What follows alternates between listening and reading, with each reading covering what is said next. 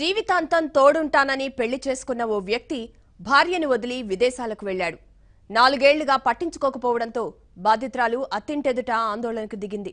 తనకు న్యాయం చేయాలని వేడుకుంటోంది.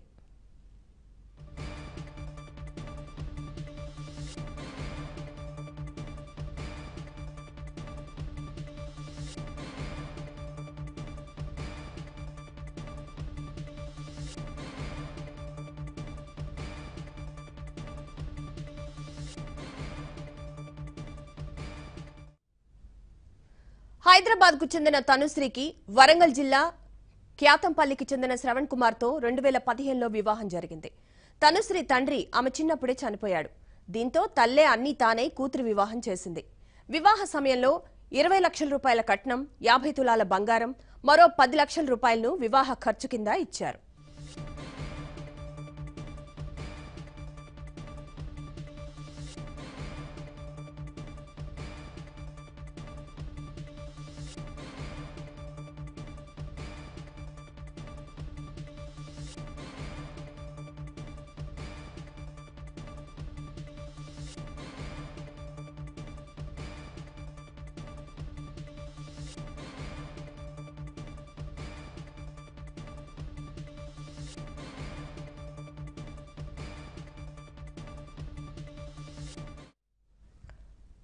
భారీగా కట్న కానుకలిచ్చిన పెళ్ళైనప్పటి నుంచి తనుశ్రీని భర్త మానసికంగా వేధిస్తున్నట్లు ఆరోపణలున్నాయి.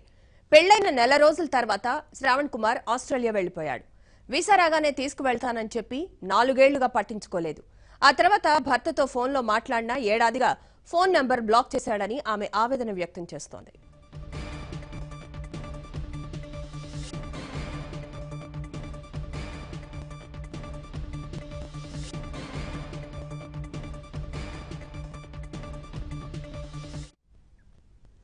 శ్రావణ్ కుమార్ తల్లిదండ్రులు హన్మకొండ నక్కలగుట్ట వివేక్ నగర్లో నివసిస్తున్నారు. తనను భర్త వదిలివేయడంతో తరచూ అత్తింటెదుట బైఠాయించి న్యాయం చేయాలని కోరుతోంది. నాలుగు రోజులుగా బైఠాయించి ఆందోళన చేస్తున్నా ఎవరూ స్పందించలేదని తనుశ్రీ చెప్పింది. ఇయర్స్ అయింటుంది మ్యారేజ్ అయ్యి అరేంజ్డ్ మ్యారేజ్. దీని తర్వాత వన్ మంత్ కలిసి ఉన్నాం మేము అంతే. ఆస్ట్రేలియాలో మెల్బోర్న్లో ఉంటాడు మా హస్బెండ్. మ్యారేజ్ చేసుకున్నాక అక్కడికి వెళ్ళి ఇప్పటి వరకు తిరిగి రాలేదండి. తను ఇప్పుడేమో వద్దు అని చెప్తున్నాడు. అక్కడ ఒక అమ్మాయితో మాత్రం షేరింగ్లో త్రీ ఇయర్స్ నుండి ఉంటున్నాడు. ఇప్పుడు త- వాళ్ళు మ్యారేజ్ చేసుకుంటున్నారు అనేసి అంటున్నారు. మా పే మా అత్తయ్య వాళ్ళు ఏమో ఇంటికి వస్తే కొట్టి పంపించేస్తున్నారు. ఇంకా నువ్వు వద్దు మా అబ్బాయికి మా అబ్బాయి వద్దంటున్నాడు నువ్వు నా ఇంటి నా ఇంటికి ఎలా వస్తావు అనేసి కొట్టి పంపించేశారు. మళ్ళీ వచ్చాను. మళ్ళీ వస్తున్నానని తెలిసి తాళం వేసుకొని వెళ్ళిపోయారు. మా తమ్ముడు అడిగినా కూడా అక్క వస్తుంది కదా అని అడిగినా కూడా వాడిని కూడా కొట్టారు. నేను వచ్చేసరికి ఇంకా లాక్ వేసుకొని వెళ్ళిపోయారు. ఫోర్ డేస్ అవుతుంది నేను ఇక్కడే కూర్చున్నాను. వాళ్ళకి తెలుసు ఏం చేసుకుంటావో చేసుకోపో అని అంటున్నారు. మీడియా వాళ్ళైనా టూ డేస్ త్రీ డేస్ వేస్తారు. ఏ ఏమైనా చేసుకో అనేసి అంటున్నారు. మా అబ్బాయి మాత్రం రాడని చెప్తున్నారు. ఫోన్ చేసి నేను తనకు ఫోన్ చేస్తే నన్ను బ్లాక్ చేసేసాడు. వన్ ఇయర్ నుండి కాంటాక్ట్లో లేడు. వీళ్ళకి ఫోన్ చేస్తే మాకు ఫోన్లు చేయకని చెప్పేసి పెట్టేస్తారు. ఇప్పుడు ఏంటంటే వాళ్ళ ఈ చిన్న విషయానికి ఇక్కడికి ఎందుకు వచ్చిందని చెప్పారు. చెప్పినాక ఆయనతో మాట్లాడిపించి నాకు వద్దు నువ్వు అని కొద్ది రోజుల క్రితం అత్తమామలు బావ జీవన్ రెడ్డి తనను కొట్టి రైల్వే స్టేషన్కి తీసుకెళ్ళి హైదరాబాద్ పంపించేశారని తనిశ్రీ చెప్తోంది. ఇప్పుడు ఇంటికి తాళం వేసి వెళ్ళిపోయారని కన్నీరు మున్నీరవుతోంది తాను హైదరాబాద్ సరూర్ నగర్ మహిళా పోలీస్ స్టేషన్లో ఫిర్యాదు చేసినా పోలీసులు స్పందించడం లేదని వివరించింది. నాలుగు సంవత్సరాలు అవుతుంది. ఇప్పుడు రమ్మంటే అబ్బాయి రావట్లేదు. తను వద్దు అని చెప్తున్నాడు. తను రావాలి. వచ్చి నా బిడ్డకు న్యాయం చేయాలి. మేము ఎంతో నా బిడ్డ మంచిగా సంతోషంగా ఉండాలని మాకున్న ప్లాట్ కూడా అమ్మి దాన్ని పెళ్ళి చేసినాం. ఇదంతా చేసింది వాళ్ళ అల్లుడే పెద్ద పెద్ద కొడుకు. వాళ్ళ సంబంధం చూసినాను వాళ్ళ అల్లుడు వాళ్ళ అన్న. ఇంకా అంతే. వాళ్ళని అసలు ఈడు ఉండనియరు తను రప్పిస్తలేరు. తల్లిదండ్రులు కూడా చెప్పి రప్పియట్లేరు.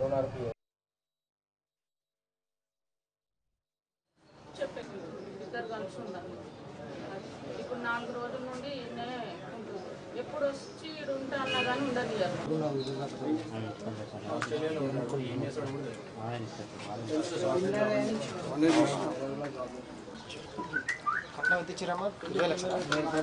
ఇరవై లక్షలు ఇచ్చినాము అమ్మాయిని ఇంట్లో నుండి తీసుకెళ్ళడానికి లేదు నేను రాను ఇంకా అమ్మాయి గురించి అలా అంటావా జీవితాంతం తోడుంటానని పెళ్ళి చేసుకున్న ఓ వ్యక్తి భార్యను వదిలి విదేశాలకు వెళ్ళిపోయాడు నాలుగేళ్ళుగా పట్టించుకోకపోవడంతో బాధితురాలు అత్తింటెదుట ఆందోళనకు దిగింది. తనకు న్యాయం చేయాలని వేడుకుంటోంది. కలుపుతారు మంచిగానే ఉంటారు కదా అని మేము ఎవరు కూడా బయట చెప్పలేదు. ఇక ఇప్పుడు ఏంటంటే వాళ్ళ ఈ చిన్న విషయానికి ఎందుకు వచ్చిందని చెప్పారు. చెప్పినాక ఇక ఆయనతో మాట్లాడిపించి నాకు వద్దు నువ్వు అని చెప్పారు. ఇద్దరు కలిసి ఉండాలి.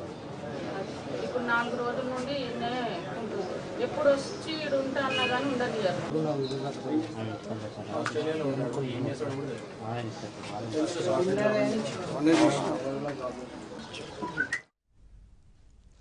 హైదరాబాద్కు చెందిన తనుశ్రీకి వరంగల్ జిల్లా క్యాతంపల్లికి చెందిన శ్రవణ్ కుమార్తో రెండు వేల పదిహేనులో వివాహం జరిగింది. తనుశ్రీ తండ్రి ఆమె చిన్నప్పుడే చనిపోయాడు. దీంతో తల్లే అన్నీ తానే కూతురు వివాహం చేసింది. వివాహ సమయంలో ఇరవై లక్షల రూపాయల కట్నం యాభై తులాల బంగారం మరో పది లక్షల రూపాయలను వివాహ ఖర్చు కింద ఇచ్చారు. ఉంటారు ఏదో ఒకటిగా అట్లా అంటున్నారేమో మళ్ళీ కలుపుతారు మంచిగానే ఉంటారు కదా అని మేము ఎవరికి కూడా బయట చెప్పలేదు. ఇక ఇప్పుడు ఏంటంటే వాళ్ళ ఈ చిన్న విషయానికి ఎందుకు వచ్చిందని చెప్పారు. చెప్పినాక ఇక ఆయనతో మాట్లాడిపించి నాకు వద్దు నువ్వు అని చెప్పారు ఇద్దరు కలిసి ఉండాలి. ఇప్పుడు నాలుగు రోజుల నుండి ఈయనే ఉంటుంది. ఎప్పుడు భారీగా కట్న కానుకలిచ్చిన పెళ్ళైనప్పటి నుంచి తనుశ్రీని భర్త మానసికంగా వేధిస్తున్నట్లు ఆరోపణలున్నాయి. పెళ్ళైన నెల రోజుల తర్వాత శ్రవణ్ కుమార్ ఆస్ట్రేలియా వెళ్ళిపోయాడు వీసా రాగానే తీసుకువెళ్తానని చెప్పి నాలుగేళ్ళుగా పట్టించుకోలేదు. ఆ తర్వాత భర్తతో ఫోన్లో మాట్లాడినా ఏడాదిగా ఫోన్ నెంబర్ బ్లాక్ చేశాడని ఆమె ఆవేదన చెందుతోంది. అయినా నేను తన నమ్ముతూ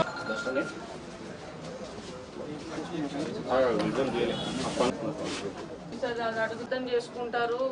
ఏదో ఒకటిగా అట్లా అంటున్నారేమో. మళ్ళీ కలుపుతారు మంచిగానే ఉంటారు కదా అని మేము ఎవరు కూడా బయట చెప్పలేదు. ఇక ఇప్పుడు ఏంటంటే వాళ్ళ ఈ చిన్న విషయానికి ఇక్కడికి ఎందుకు వచ్చిందని చెప్పారు. చెప్పినాక ఇక ఆయనతో మాట్లాడిపించి నాకు వద్దు నువ్వు అని చెప్పారు ఇద్దరు కలిసి ఉండాలి. ఇప్పుడు నాలుగు రోజుల నుండి ఉంటుంది. ఎప్పుడు వచ్చి ఈడు ఉంటా అన్నా కానీ ఉండదు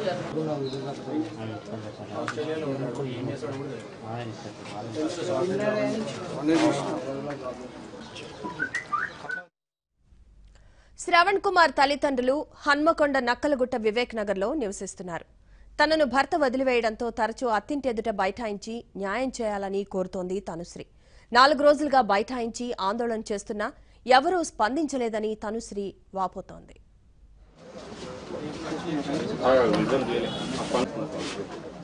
అర్థం చేసుకుంటారు. ఏదో ఒకటిగా అట్లా అంటున్నారేమో. మళ్ళీ కలుపుతారు మంచిగానే ఉంటారు కదా అని మేము ఎవరు కూడా బయట చెప్పలేదు. ఇక ఇప్పుడు ఏంటంటే వాళ్ళ ఈ చిన్న విషయానికి ఇక్కడికి ఎందుకు వచ్చిందని చెప్పారు. చెప్పినాక ఆయనతో మాట్లాడిపించి నాకు వద్దు నువ్వు అని చెప్పారు. ఇద్దరు కలిసి ఉండాలి. ఇప్పుడు నాలుగు రోజుల నుండి ఈయనే ఉంటుంది ఎప్పుడు వచ్చి ఉంటా అన్నా కానీ ఉండదు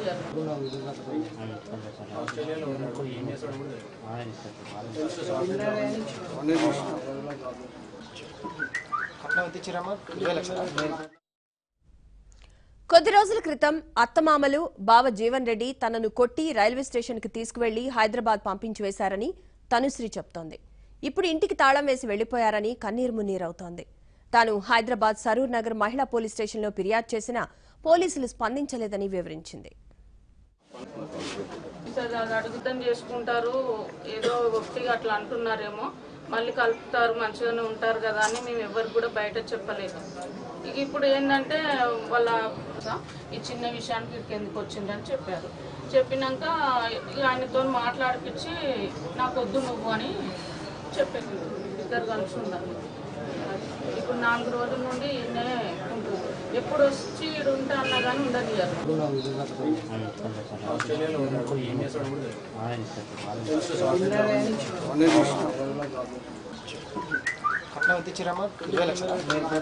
ఇరవై లక్షలు ఇచ్చినాము. అమ్మాయిని ఇంట్లో నుండి తీసుకెళ్ళడానికి లేదు నేను రాను. ఇంకా ఆ అమ్మాయి గురించి అలా అంటావా? అని అని అన్నాడు ఇక. అప్పటి నుండి ఫోన్ మాట్లాడట్లేదు. అడగలేదు. అయినా నేను తనని నమ్ముతూ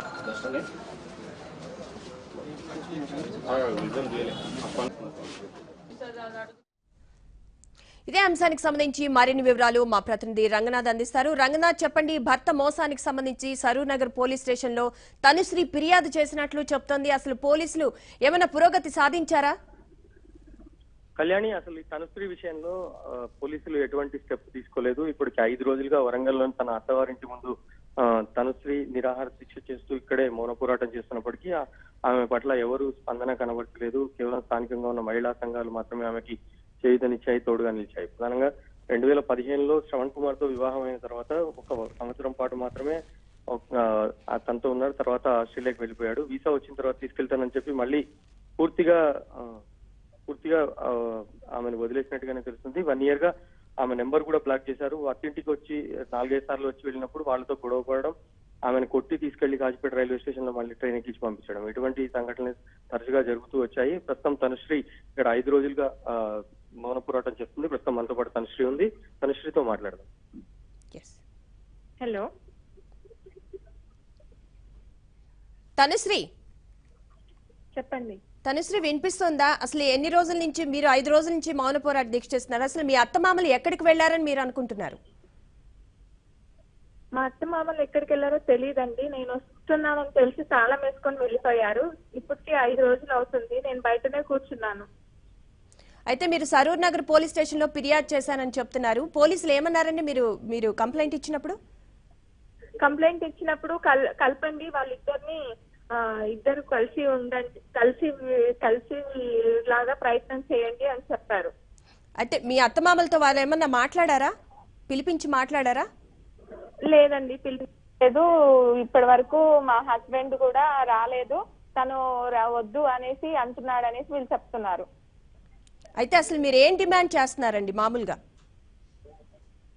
నాకు నా భర్త రావాలండి. ఫోర్ ఇయర్స్ అయింది మ్యారేజ్ అయ్యి నేను తన కోసమే ఎదురు చూస్తూ ఉన్నాను. లేదా నన్ను తీసుకెళ్తాడు అనే ఉద్దేశంలోనే ఉన్నాను. కానీ నన్ను ఇలా మోసం చేస్తారని నేను అస్సలు అనుకోలేదు. ఇప్పుడు తను వద్దంటున్నాడు నీ దారి నువ్వు చూసుకో. మా ఇంటికి మాత్రం రావద్దు మా ఇంటి ముందు కూర్చోవద్దు అనేసి అంటున్నారు. అయితే మీ మ్యారేజ్ అయ్యి ఫోర్ ఇయర్స్ అవుతుంది. ఫోర్ ఇయర్స్లో మీరు ఫోన్ చేసినప్పుడల్లా అతను ఏం చెప్తూ ఉండేవాడు? మొదట్లో నాకు స్టూడెంట్ వీసా వేశాడండి అది రిజెక్ట్ అయింది. అప్పట్లో బానే ఉండేవాడు. దాని తర్వాత డిపెండెంట్ వేస్తా అని చెప్పాడు కానీ ఇప్పటి వరకు వెయ్యలేదు దాని గురించి ఏం విశేషం లేదు. వన్ ఇయర్ నుండి కాంటాక్ట్లో లేడు. నా నెంబర్ బ్లాక్ చేసేసాడు. అక్కడ ఒక అమ్మాయితో మాత్రం త్రీ ఇయర్స్ నుండి ఇద్దరు ఒకే ఇంట్లో ఉంటున్నారు. అయితే ఇప్పుడు మీరు మీరు చెప్తున్నారు ఇప్పుడు నాలుగేళ్ళు మ్యారేజ్ అయ్యి నాలుగేళ్ళు అయింది. నాలుగేళ్ళు మీరు ఎక్కడున్నారు? అత్తగారి ఇంట్లో ఉన్నారా? అమ్మగారి ఇంట్లోనే ఉండేవారా? అమ్మగారి అమ్మగారి ఇంట్లోనే ఉండేదా మీరు తరచూ ఎప్పుడు కాల్ చేసి ఆ నేను వస్తున్నానని చెప్పగానే మేము ఉండట్లేము. మేము విలేజ్ వెళ్తున్నాం మేము ఫంక్షన్ వెళ్తున్నాం. నువ్వు అక్కడే ఉండు అక్కడే ప్రాసెస్ అక్కడే జాబ్ చేసుకో అని చెప్పేవాళ్ళు. ఎప్పటికైనా అక్కడికి వెళ్తావు కదా సో అక్కడే ఉండు ప్రాసెస్ అక్కడ నుండే చేస్తున్నావు కదా అనేసి చెప్పేవాళ్ళు. ఇంటికి వస్తున్నా అంటే ఊరు వెళ్తున్నాం ఫంక్షన్కి వెళ్తున్నాం మేము లేము అని చెప్పేవాళ్ళు. అయితే మీరు ఇలానే. ఇలానే చేస్తున్నారు కదా అనేసి నేను చెప్పకుండా నేను వచ్చానండి. మండే రోజు చెప్పకుండా వస్తే నన్ను కొట్టి మార్నింగ్ ఫోర్ ఓ క్లాక్కి లేపి కొట్టి తీసుకొని వెళ్ళి నన్ను సికింద్రాబాద్ రైల్వే స్టేషన్లో వదిలేశారు. అప్పుడు మీరు కంప్లైంట్ చేయలేదా పోలీసులకి? చేయలేదండి. మళ్ళీ వచ్చాను. మళ్ళీ వస్తే నేను వస్తున్నానని తెలిసి తాళం వేసుకొని వెళ్ళిపోయారు. అయితే మీరు చెప్తున్నారు ఇప్పుడు త్రీ ఇయర్స్ నుంచి ఒక అమ్మాయితో లివింగ్ రిలేషన్షిప్లో ఉన్నారని చెప్తున్నారు. ఈ విషయం మీ అత్తమామలకు తెలుసా? తెలుసండి. ఏం చెప్పేవారు?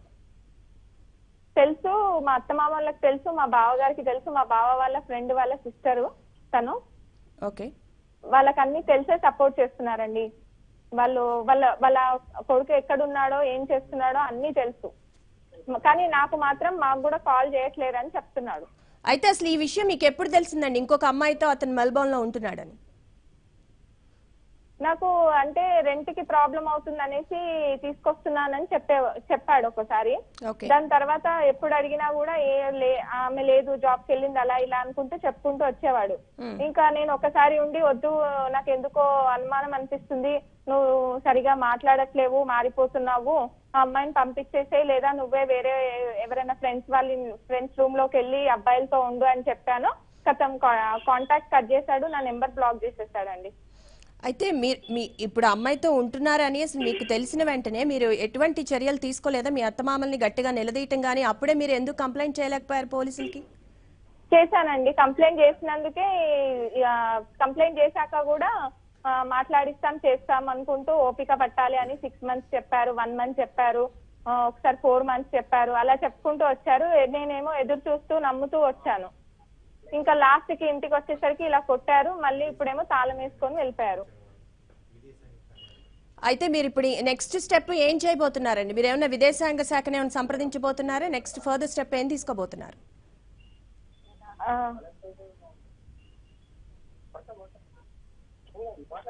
Hello. Okay right thank you అండి. ఇరవై లక్షలు. ఇచ్చినాము. అమ్మాయిని ఇంట్లో నుండి తీసుకెళ్ళడానికి లేదు నేను రాను.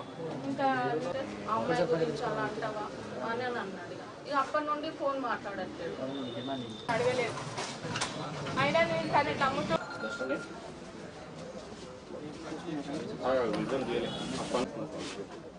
అడుగు